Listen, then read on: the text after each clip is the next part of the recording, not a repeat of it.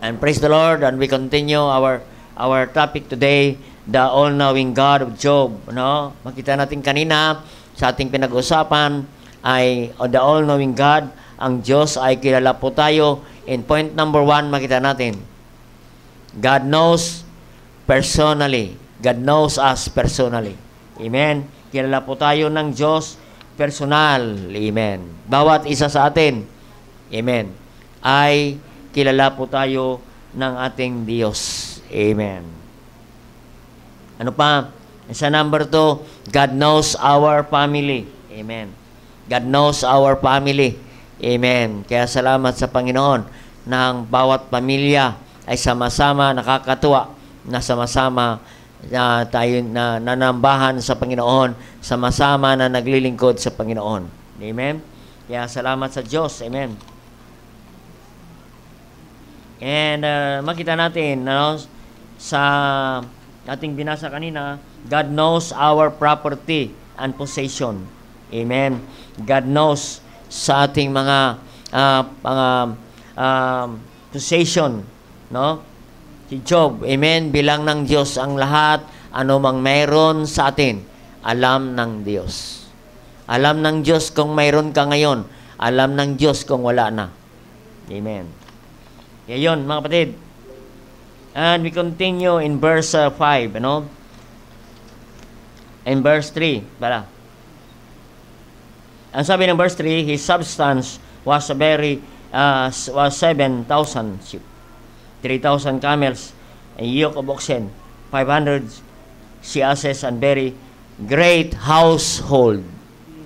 Amen. Take note the word, the great, great household. Amen. No, great household. Ibig sabihin si si uh, si Job ay maraming mga tauhan. Many servants. Amen. Great household, great servants. No? Na sa another points natin kapatid, no? Sa point number one, sa uh,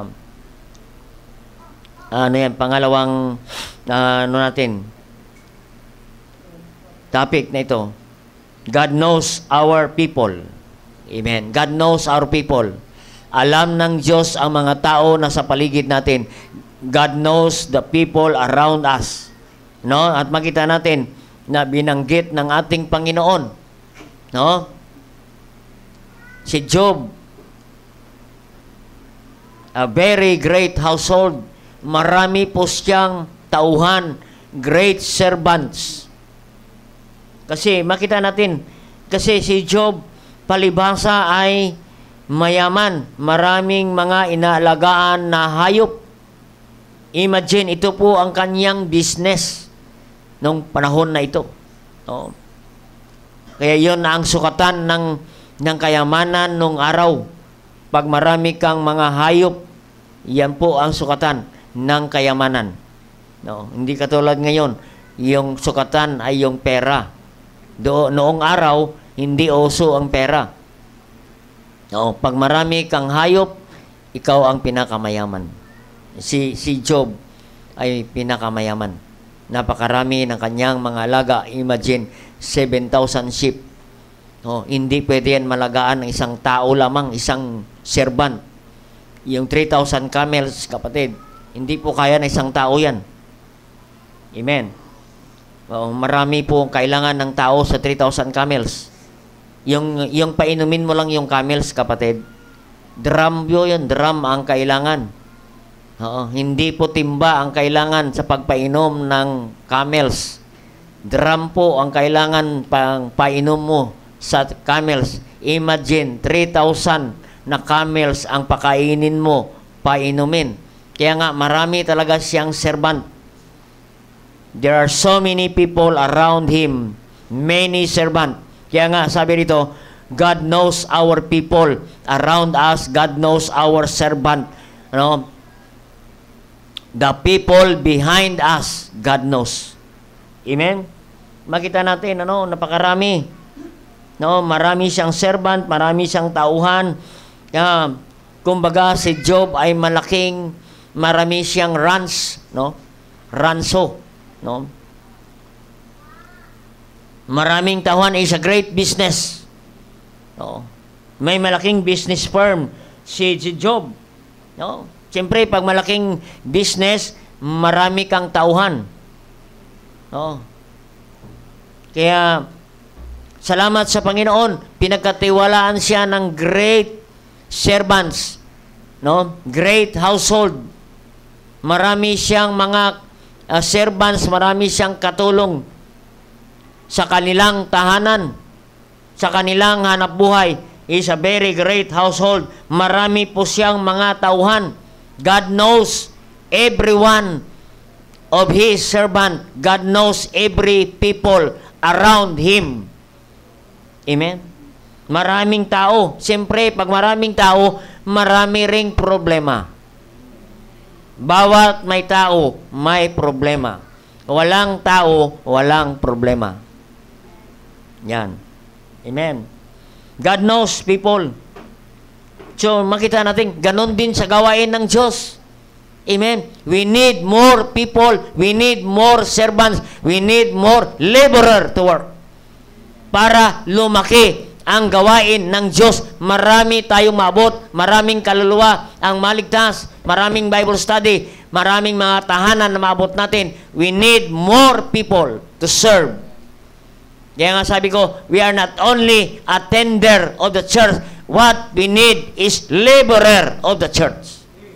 Amen, napakaraming gawain ng Diyos. Mula lunes, wala na, hindi na kami makapahinga. Bukas, mula na naman bukas, umaga, 6 o'clock, goon na naman kami from morning, 7 o'clock, hanggang hapon na yan. Maraming mga Bible studies na naka-schedule, mga kapatid, and we need more laborers. Kaya nga itong si Job, napakarami niyang laborers, servant, kapatid. Hindi basta-basta ito, lumaki ang kanilang business na ito. Hindi ko alam kung anong business na ito, pangalan ng business ni, ni, ni Job. No?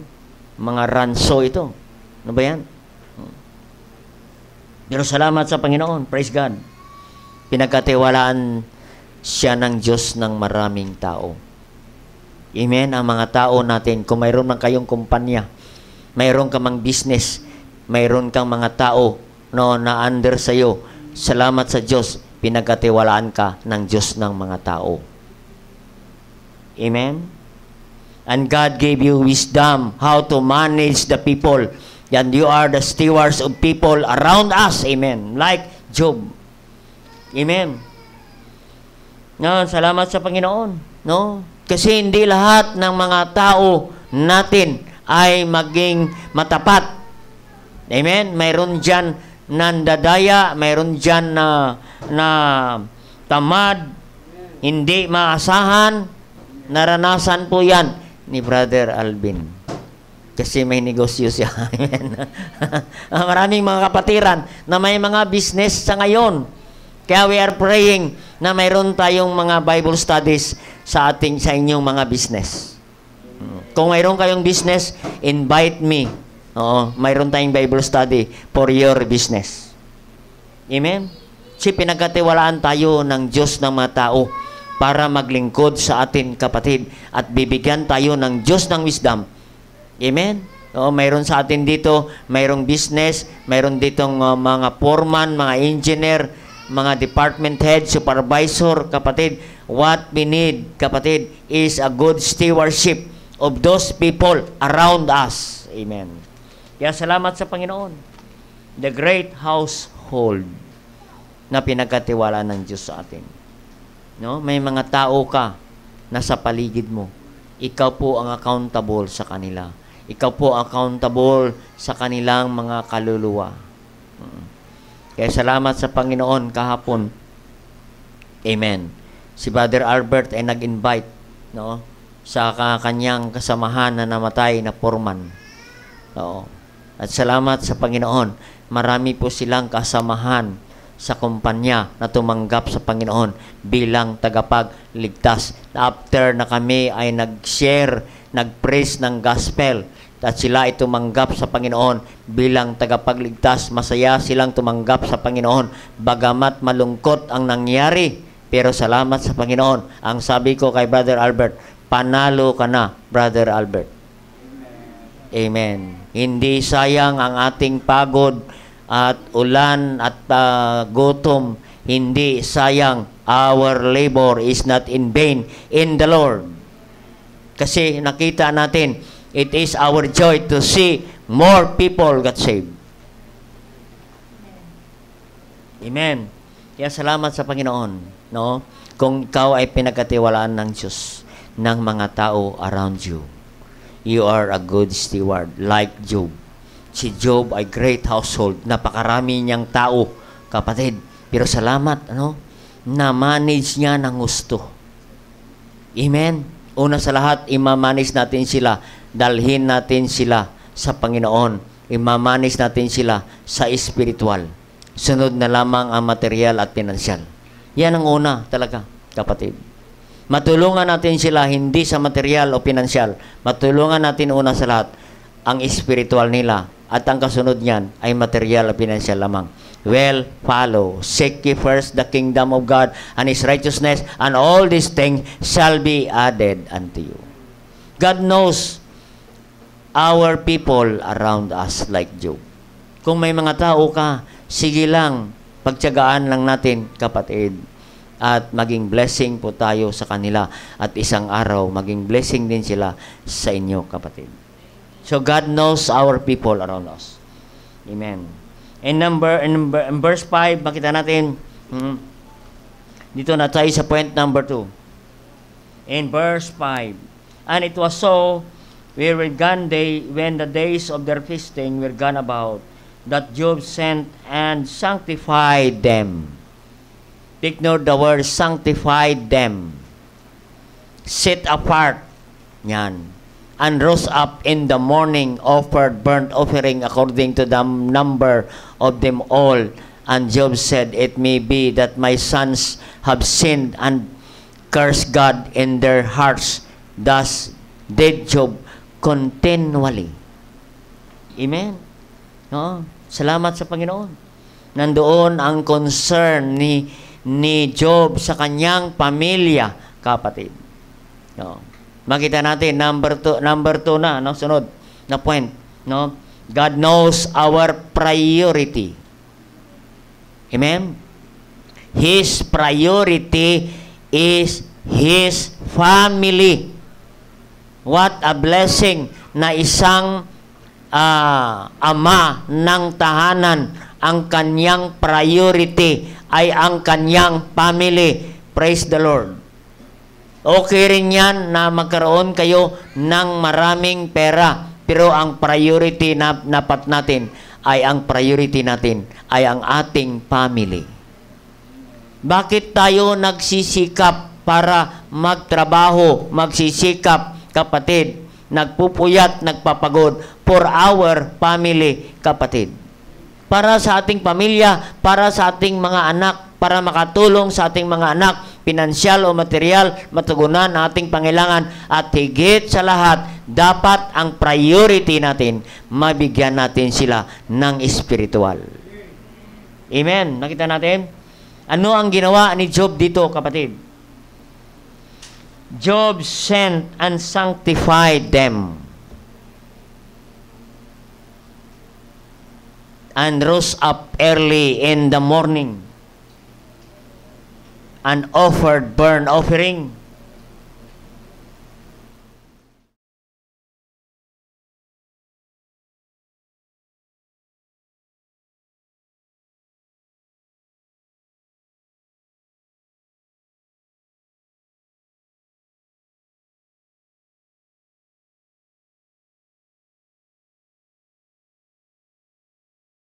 Niya ang espiritual na kalagayan na pangangailangan ng kanyang pamilya.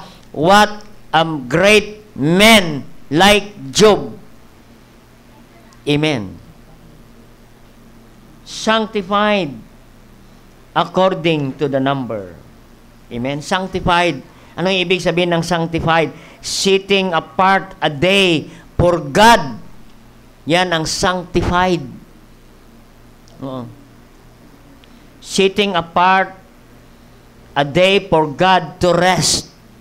Oo. Sa Old Testament, ang sanctification of the day, yan po ang Sabat.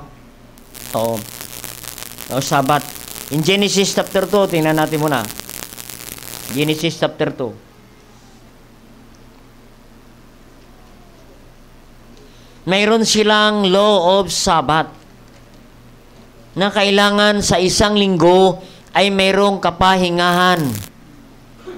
In verse, uh, in verse 2, masahin natin ha, The heavens and the earth were finished, and all the host of them, and on the seventh day, ended on his work, which he had made, and he rested on the seventh day from all his work. Amen? He rested on the seventh day. Amen. Mayroong day off dapat. Para sa ano ang day off na yan? Para sa ating pamilya. Amen. Mahirap naman na isang ama ng tahanan, ina ng tahanan, puro na lang kayo trabaho. At wala kayong panahon sa iyong pamilya, wala kayong panahon sa iyong asawa at mga anak, at halos hindi na kayo nagkikita. Naku po, napakahirap yan kapatid.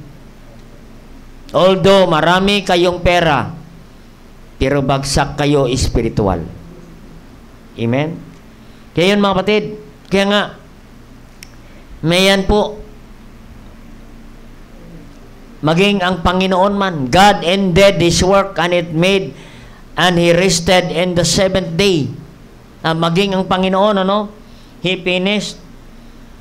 Tina, natapos ang kanyang trabaho. He create everything for the sixth day and the seventh day. God rested. Amen? Kaya yun, kapatid. Ito ang ginawa ni Job, kapatid. No? Sanctified. No? Kaya nga sa Old Testament, merong tinatawag na Sabbath law. Amen. Sanctified day, no. To rest. Yan po, ano? So, makita natin, no? And we believe that the book of Job is the oldest book. The oldest book of the Bible. Na bago pa dumating ang Mosaic Law or the book of Pentateuch, the law of Moses, ay mayroon ng pananambahan sa panahon ni Job. Makita natin, kapatid? Sumasamba na si Job sa Diyos kasama ang kanyang mga anak. The Bible says sa ating binasa kanina, no? Sa Job uh,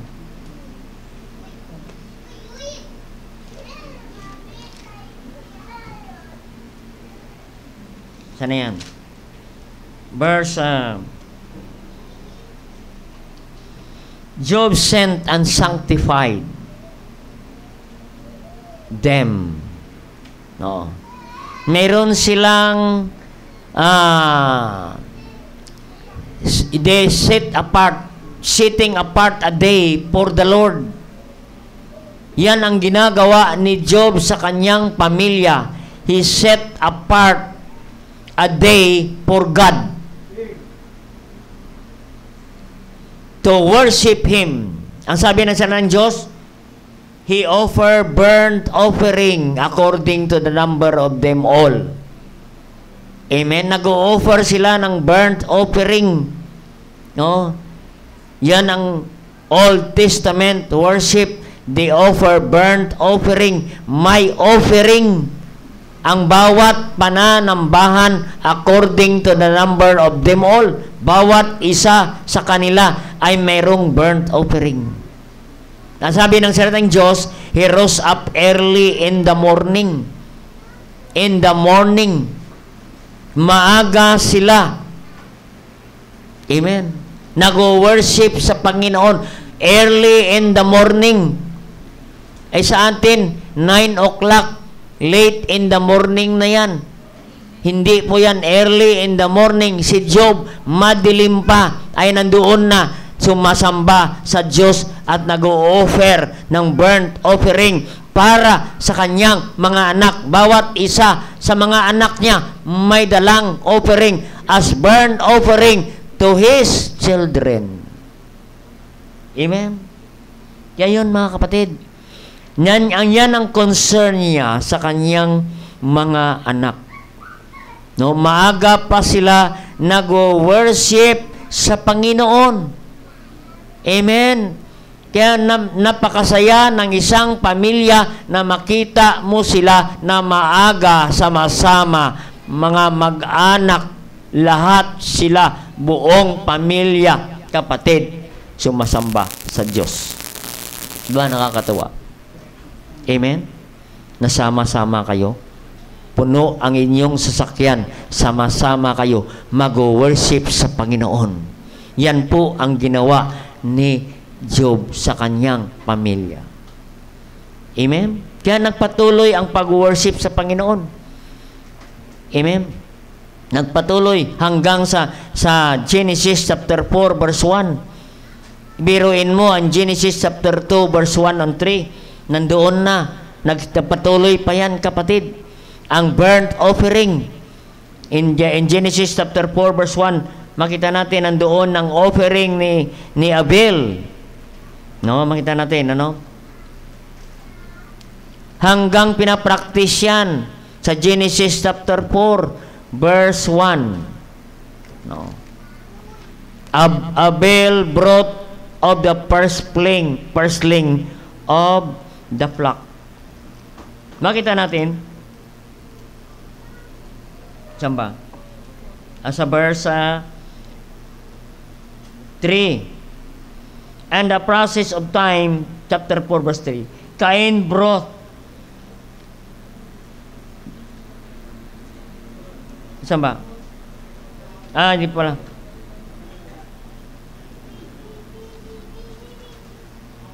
Yan. Cain brought the fruit of the ground an offering unto the Lord. In verse 4, Abel, he also brought the firstlings of the flock and the fat thereof, and the Lord had respect unto Abel to his offering. Amen. Mayroon ng offering from Old Testament, from the from the time of Job going to the time of Abel and Cain. Mayroon ng worship sa Panginoon at nagdadala po sila ng offering. They brought their firstlings of the flock. Yan po ang firstlings. Yan po ay mga animals. Ang tawag yan ay firstlings. Yung mga prutas naman, ang tawag yan ay first fruit. Kaya nga, we practice first fruit. Diyan po nakuha, kapatid, ang konsepto ng pagbibigay ng first fruit.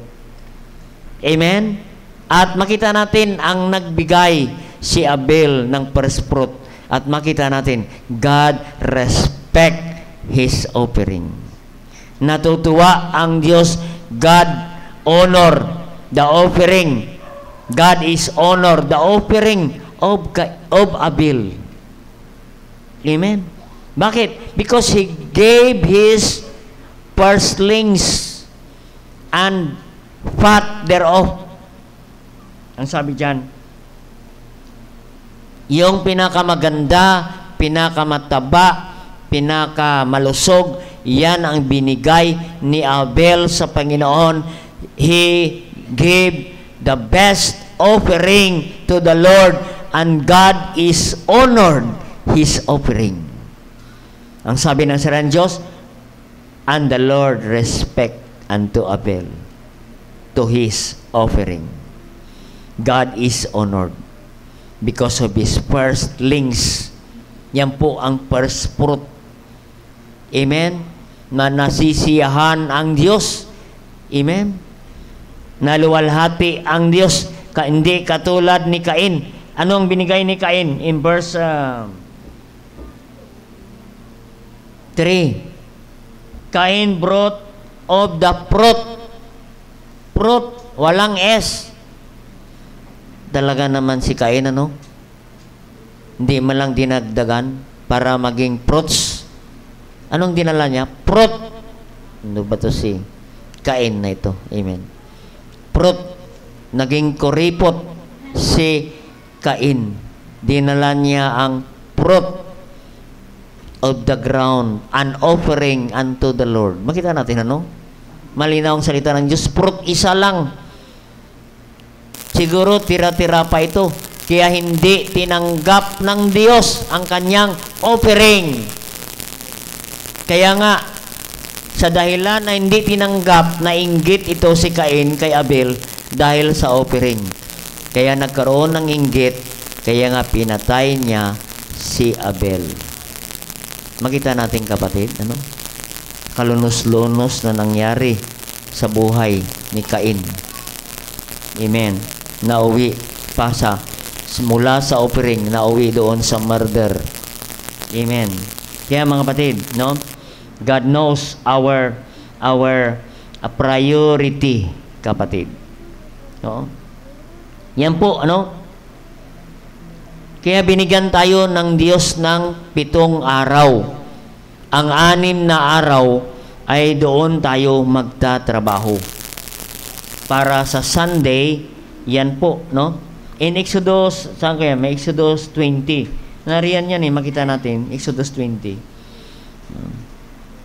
Alam mo ba ang law of Sabbath, yan ay batas. Na natin ah. Meron dyan yan eh. Ayan sa verse 8, eh, verse 9. Six days thou shalt labor and do all thy work. Amen. Six days, magtrabaho ka na. Labor and do all thy work. And one day, para sa Panginoon. No? Seventh day is the Sabbath day to the Lord thy God. No? To the Lord thy God. Yan po, no? Yun ng Old Testament, kapatid. Yan ay eh, Sabado, no? Pero makita natin, kapatid, no? Yan po ang nung araw ay sa Old Testament ay pag uh, hindi ka magpahinga ng araw ng Sabado, no? Mayroon yan death penalty. Matindi po ang batas na yan. Amen. Pero makita natin ay sa New Testament, Mosaic law was abolished. No? Wala na po ang Mosaic law. It is not a force anymore. Not required by law. Hindi na po yan nire-required. Now, as in the New Testament, now we are free to observe Sabbath. Kaya nga sabi ng Matthew 11 verse 28, Come unto me, all ye heavy laden, and I will give you Sabbath. I will give you rest. We can come to the Lord anytime. Kung ikaw ay nabibigatan, nahihirapan, anytime, pwede kang lumapit sa Diyos. Amen. That's why Christian keep Sunday worship. Bakit kaya Sunday? Amen? Kasi ang Saturday, kapatid, yung Sabbath, that is the commemoration of God's creation. Kaya nga in seventh day, they rested to commemorate God's creation. Ay dito tayo sa New Testament, we are now commemorating the resurrection of the Lord Jesus Christ. Why Christian worship the Lord on Sunday. Amen? Makita natin sa John 20. Oo. Bakit Sunday na tayo ngayon? No. Kasi ang Mosaic Law ay hindi na tayo uh, is not a force anymore, not required. We are free to observe Sabbath for their choice. Amen. Ano kanina sinabi ko? John 20 verse 1. Why Sunday? No? Because we commemorate the resurrection of Jesus Christ. Ano, John, tingnan natin John 20 verse 1. Makita natin dyan, no?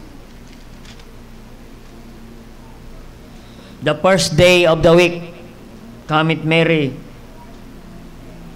Magdalene early in the morning at dark sepulchre. the stone, take it away from the sepulchre. Makita natin, the resurrection day of Jesus Christ, Sunday, ang Panginoon ay bumangon muli sa mga libingan and Mary Magdalene testified that Jesus Christ resurrect on Sunday. Amen? In uh, 20 verse uh, 19, iakyat natin sa 19. Ang sabi diyan, the same day evening being the first day of the week. Yan, first day of the week, that is Sunday. When the doors were shut up, where disciples were assembled to fear the Jews, and Jesus stood in the midst and said to them, Peace be unto you. Nariyan ang presensya ng Diyos sa araw ng Sunday. Amen. Kaya tayo nag-worship sa Panginoon because the presence of Jesus Christ, kapatid, ay nariyan sa atin on Sunday. Amen?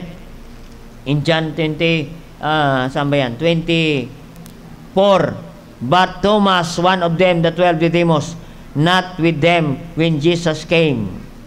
Wala po si Thomas ng araw ng Sunday. Amen.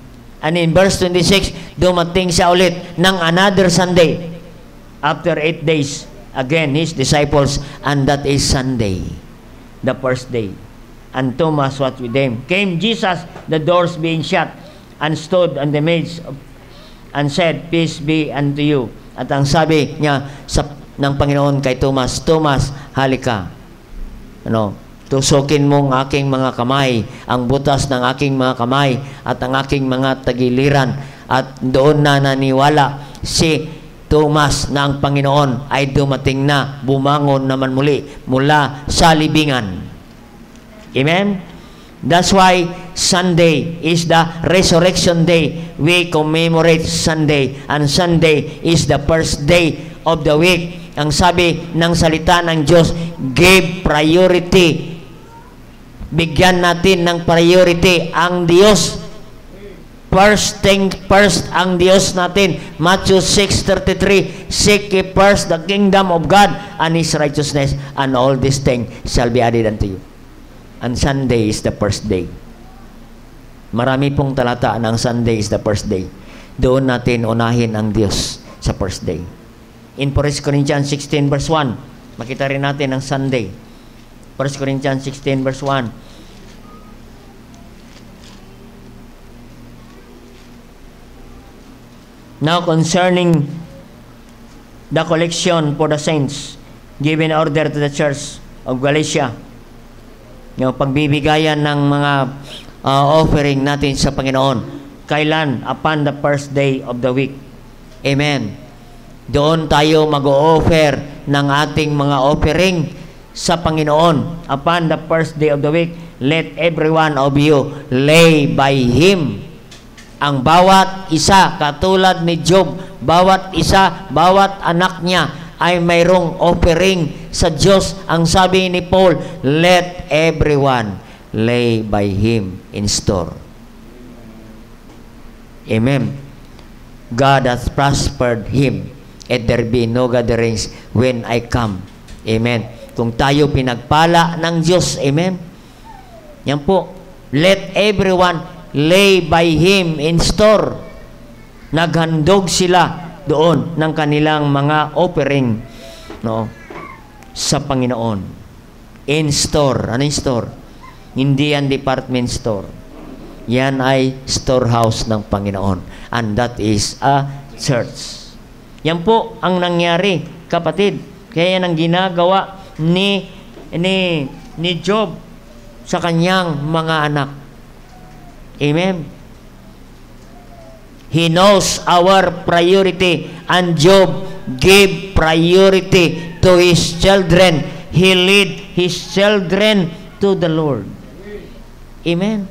Dinadala niya ang kanyang mga anak para mag-worship, mag-offer sa Panginoon. He rose up early in the morning. Imagine, ginigising niya ang mga anak niya magsamba sa Diyos, mag-offer.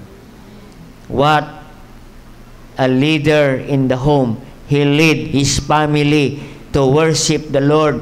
he trained his children to offer burnt offering to the Lord. Magdala ng offering sa Panginoon. Amen.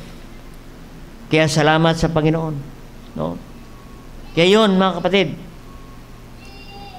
Job priority is his family to worship the Lord and offer the Lord, offer their sacrifice. Amen. So ngayon, ano ang priority natin? Maganda, may trabaho tayo, praise the Lord.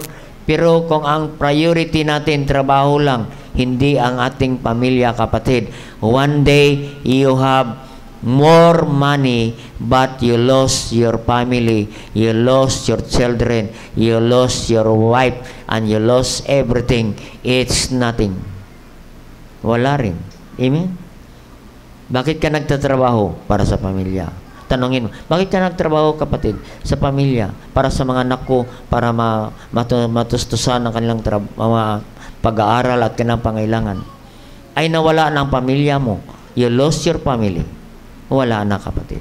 Nangyari yan kay Lot kapatid. He lost his family.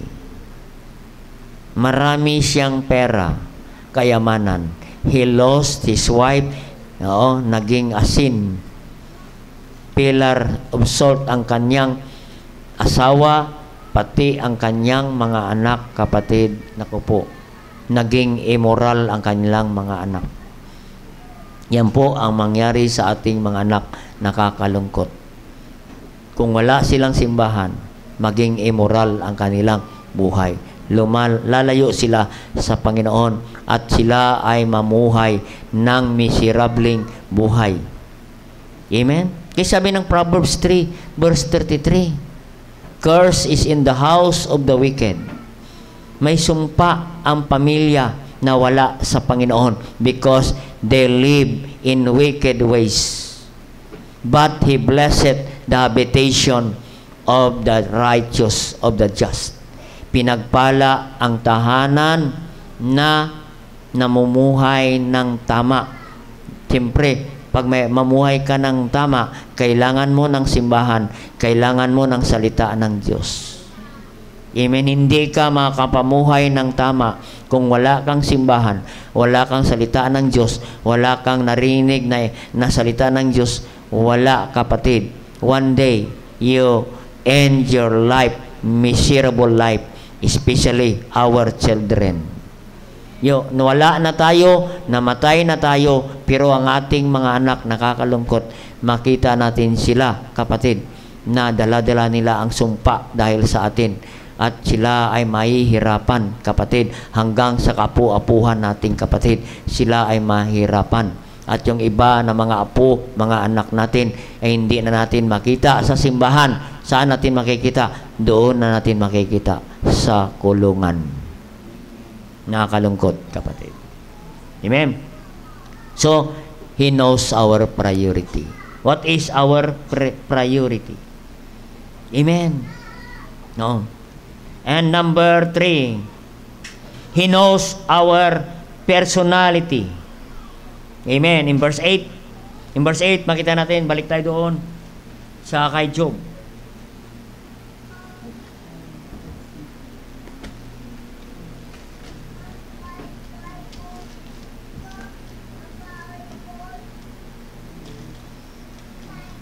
Verse 8, no? Alam.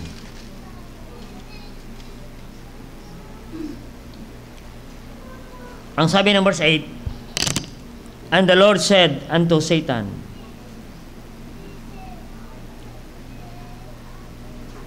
Hast thou considered my servant Job? There is none like him in the earth, perfect and upright, man and feareth God and escheweth evil. Amen. God knows our personality. Ano yung personality? Our character. Ano ba yung personality? Personality or character? The set of qualities, kapatid, the set of qualities that makes a person or thing different from others. Yan po ang kaibahan ni Job sa iba. Amen. Ang sabi ng Panginoon. Job, there is none like him. Kakaiba. Yan po ang personality. Qualities that makes us different from others. Sabi niya, makita ninyo si Job, Satan, tingnan ninyo si Job, kakaiba yan. Oh. None like him in the earth, walang katulad yan. Perfect, upright man, and one period God and it evil. Amen. Makita natin, kapatid, he, he Job remain, he remain his integrity, he remain his honesty and faith, faithfulness to the Lord. Amen. Ganon si Job. Manatili siyang matapat sa Panginoon. Perfect, upright. Gumagawa siya ng tama. Tama ang kanyang buhay. Malinis ang kanyang pamumuhay. Eschew it, evil. Kapatid, siya ay umiiwas, lumalayo sa kasalanan. Yan ang word na eschew it, evil. Siya ang lumalayo sa tukso ng kasalanan. Hindi siya lumalapit sa, sa tukso at kasalanan. Siya ang lumalayo. Ganon si Job. Kaya nga kapatid, no? Kaya dapat ganon tayo katulad ni Job. Amen? Na dapat tayo ay hindi maging instrumento ng kasalanan. Ang sabi ng Romans 6.13, ano sa Romans 6.13, basahin po natin Romans 6.13. Romans 6.13,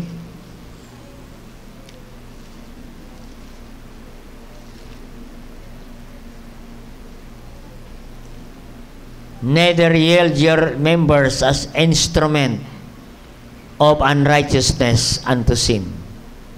Yan po, ano?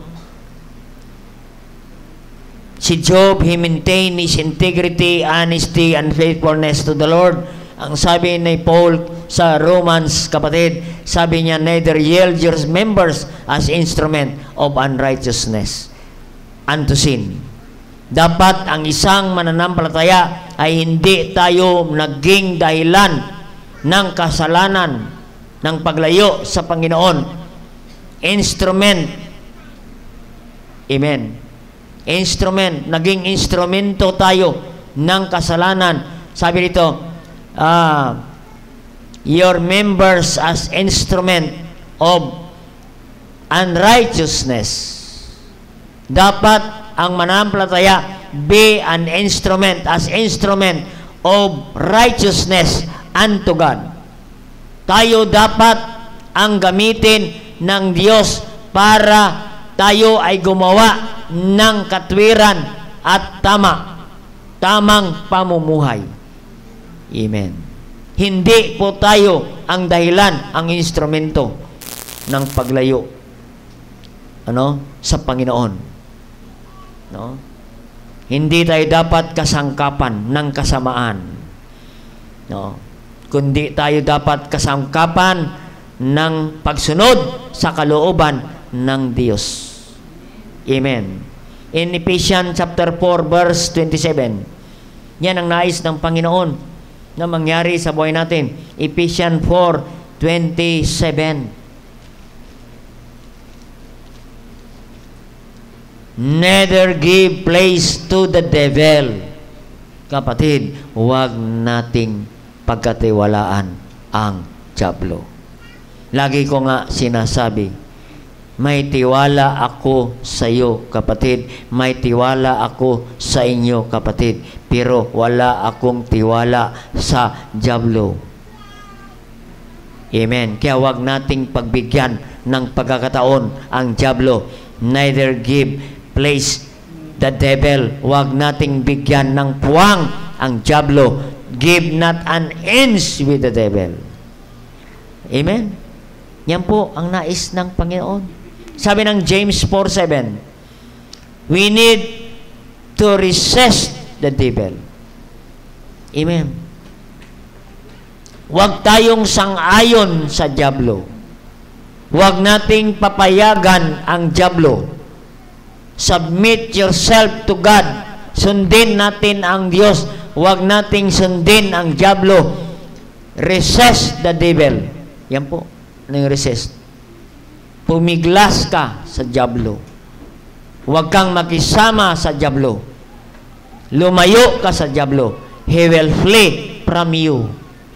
Yan po. Kaya nga dapat, kapatid, ang sabi ni, ni Peter, 1 Peter 5.8, Be sober, be vigilant, because the devil is a roaring lion seeking home he may devour. Roaring lion yan, kapatid. Anong nais ng Diablo? Sisirain ka, kapatid. Sisirain ka. Yan po. Kaya wag nating pagbigyan ng Diablo. Alam mo ba si Job? Hindi niya pinagbigyan ang Diablo. Amen. Alam mo ba, ang Diablo ay interesado sa mga mananampalataya. Hindi na interesado doon sa tao sa mga labas na hindi nagsisimba. Hindi na interesado yan sa backslider. Interesado yan sa mga faithful. Amen. Pag matapat ka, iinteresan ka ng Diablo. Yung mga backslider, wala na yung pag-alam. Bakit? Backslide na yan eh. Akin na yan. Oh, akin na yan. Yung mga Kristiyano na nagiinom ng alak, akin na yan. Diyan sa church, mayroon din ako dyan. Yan, oh, natutulog, maantok-antok na. Yan, akin yan. Joke lang. Yan. Amen. Yan po, Luke 22. Minate na. Sabi dyan, The Lord said, Simon, Simon, Simon. Amen. Aba, mga kapatid, pag nagbanggit ng tatlong pangalan, iba na yan. Oo. Pag sinanay, si tatay, binabanggit mo ang tatlong beses na yan, ako, manda ka na. Simon, Simon, Simon! Naku po, ng palakas ng palakas. Oo. Importante. Mahalaga yung mensahe. Ito tatlo ang sinabi ng Panginoon and the Lord said, Simon, Simon, Simon. Behold, and behold, attention, Simon, makinig ka. Satan hath desired to have you. Amen. Interesado si Satanas sa iyo. Amen. Nais kang kunin Oo, ng Diablo. And sabi ni ni Peter, ba hindi mangyari sa akin yan. Amen. Kaya nga sabi ng Panginoon, I have prayed for thee. Pinagpipray kita, Peter. Simon pala, Simon. Siyang pangalan ni Simon. Pag backslider, Simon ang tawag. Pag spiritual, Peter. Simon, Simon. Uh, ibig sabihin niyan, galit na Panginoon dyan. Amen. Kaya salamat sa Panginoon. Hmm. Masabi ni Simon, Lord, handa ko sumama sa iyo. Verse 33. Di ba? I'm ready to go with thee, both into prison and to death. Sasamahan kita, Panginoon, hanggang sa bilangguan. Sasamahan kita hanggang kamatayan. Sasama kita. Ano ko po? Mamaya, sabi niya, Panginoon, He denied me three times. And Peter, Simon, denied the Lord Jesus Christ. And he wept bitterly. Amen? Kaya kapatid, kaya huwag tayo magtiwala sa Diablo. Amen? Kaya mga kapatid, maintain our integrity, honesty, and faithfulness to the Lord like Job. Kaya God knows our personality and character, kapatid. Maintain our faithfulness. And, ne- and, and next thing, kapatid, next thing, ano tayo kanina? Number ano ba to? Yan. Ay, last na, last na. Ito verse. Ah, ito na po. And the next. Sa Job. Medyo nagkambyo ang pangyayari. Amen? Dito na po. In verse 9, makita natin. nagkaroon na ng problema, pagsubok. Ang sabi ni Satan, kaya yan matapat si Job kasi pinagpala mo. Alisin mo yung mga blessing na yan. Alisin mo yung mga camels na yan. Alisin mo ang kanyang mga hanap buhay na yan. Isusumpa ka niyan. Sabi na, He will curse thee to thy face. Verse 11. Amen? So makita natin, dumating ang pagsubok. Sinubukan ni Satanas si Job. Amen. Makita natin in, verse, sa following verses na yan na sunod-sunod ang mga problema ni Job. Amen. In verse 13. O, nandyan, kapatid. O. Saan na yan? Ano nangyari dyan? Ang kanyang mga oxen. O. Ah, ibig sabihin, kapatid, to make the story short, lahat ng kanyang mga ari-arian, lahat ng mga hayop, kapatid, lahat yan nawala. Hmm. Makita natin, napakasakit yan. No. All of the sudden, lahat ng kanyang mga pagpapala, mga blessing, his wealth and riches, suddenly, all of the sudden, naging bankrupt. He lost everything. Makita natin. Sunod-sunod po ang kan problema ni Job, kapatid. At nam, ng last point natin, God knows our pain and sufferings. Amen. Job experienced pain and sufferings, pressures, kapatid, trials sa kanyang buhay, hardship, ano man yan, kapatid, lahat he experienced pain. Masakit ang kanyang naramdaman, kapigatian, kahirapan, nakaranas si Job. Kapatid. Oh. Alam ng Diyos ang naramdaman ni Job. Alam ng Diyos ang kahirapan ni Job. But Job was faithful in spite of pain and sufferings. Amen? He experienced. Kaya makita natin kapatid, huwag tayong magtaka.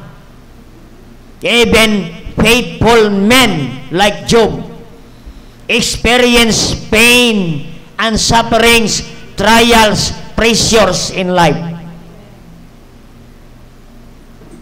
Kaya hindi natin ibig sabihin, ako'y faithful, ay wala na akong kalungkutan, kahirapan, pain and sufferings na maranasan. Kapatid, even faithful, like Job, experience pain and sufferings. Amen? Akala natin, yung mga pain and sufferings ay para lang sa mga backslider. Huwag tayong magtaka. Amen? Kaya nag-iisip kayo, ay kung saan na kami faithful palagi in the morning, in the evening, at saka naman sunod-sunod ang aking problema.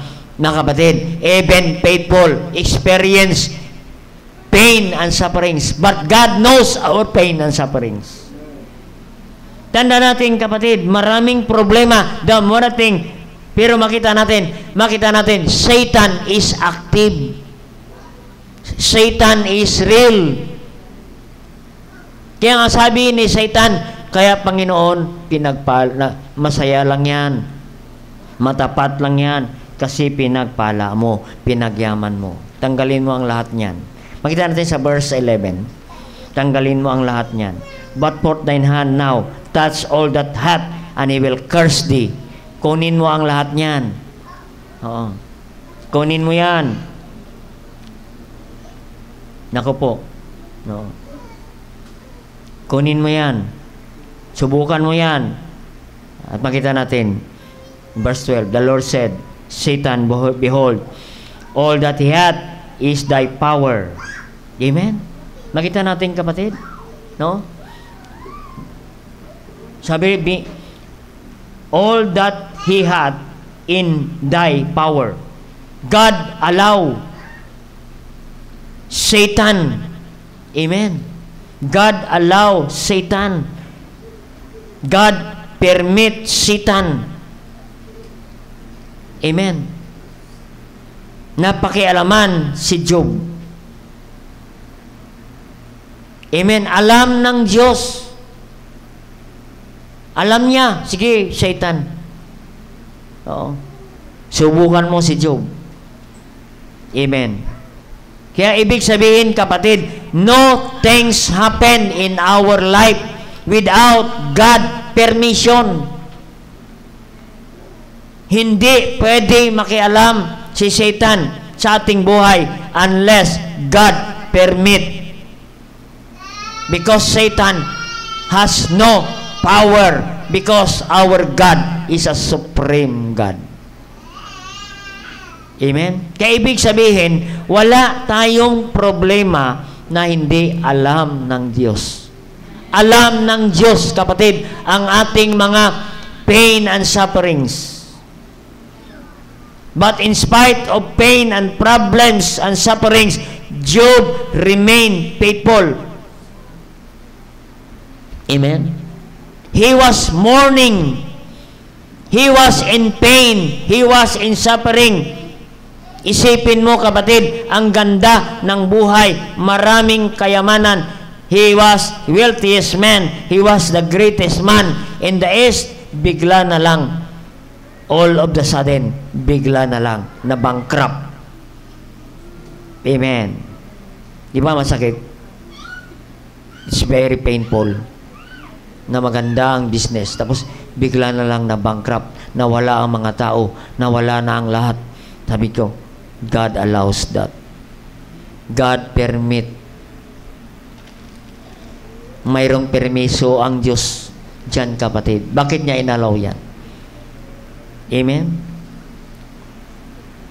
Kaya nga, it was pain kay Job. Kaya nga sabi niya sa Job 121, And he cried unto the Lord. Anong, ano ang kanyang iyak pagtangis sa Panginoon. Ano ang sabi niya? In spite of that, in Job 20, in spite of pain and suffering, kapatid, and Job arose and rent his mantle and shaved his head and fell down upon the ground and worship and worship the Lord. Sipin mo yan, kapatid, no? In spite na mayroon siyang problema, kapatid.